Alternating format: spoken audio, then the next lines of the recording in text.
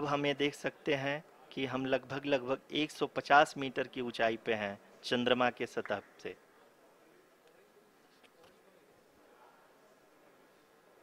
We are approaching the vertical descent phase two which will have the lander module hovering at nearly 150 metres about the lunar surface जी हाँ। आप इस तालियों के गड़गड़ाहट को सुन सकते हैं जो कि सेकेंड हायोरिक फ़ेज़ के कंप्लीट होने के बाद इन सारे वैज्ञानिकों के द्वारा की जा रही है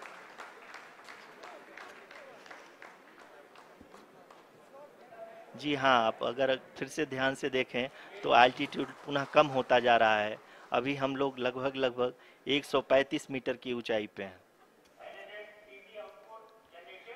The sensors that are updating at this point are providing confirmation of the safety of the landing site. As expected, the retargeting is going on, and this is a very good signature for the lander. अभी आप ये देख सकते हैं कि lander की ऊंचाई लगभग पैंसठ मीटर के आसपास बची हुई है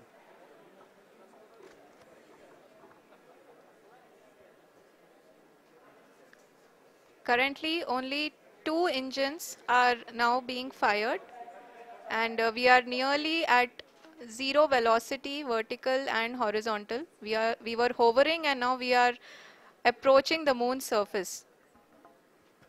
धीरे धीरे लैंडर की वेगमान को कम किया जा रहा है और हम अब लगभग 50 मीटर से भी कम आ चुके हैं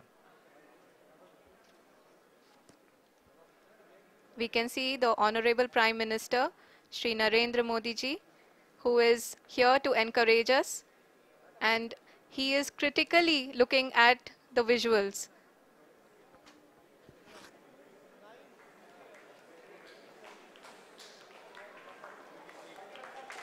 जी हाँ आप अपनी स्क्रीन पे देख सकते हैं कि हम पाव lander module People are applauding. Let lander us all module wait to hear from the Secretary Department of Space and Chairman ISRO, Shri S. Somnath.